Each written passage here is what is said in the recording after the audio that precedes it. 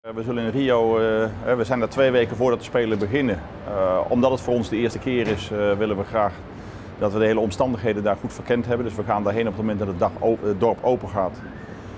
om om ja, in alle rust het dorp, de accommodaties, de hele toestand, de eetzaal en dergelijke te bekijken. We trainen daar gewoon twee keer per dag, zowel fysiek als, als handbaltrainingen. we spelen daar twee oefenwedstrijden tegen Brazilië, thuisland, een sterke land. Dan gaan we na een dag of vijf gaan we, gaan we nog een paar dagen weg. Even weg uit het dorp, anders zit je wel een, een, een te lange periode op dezelfde plek voordat het toernooi begint. En we komen 2 augustus komen we weer terug. Drie dagen voordat het toernooi gaat starten.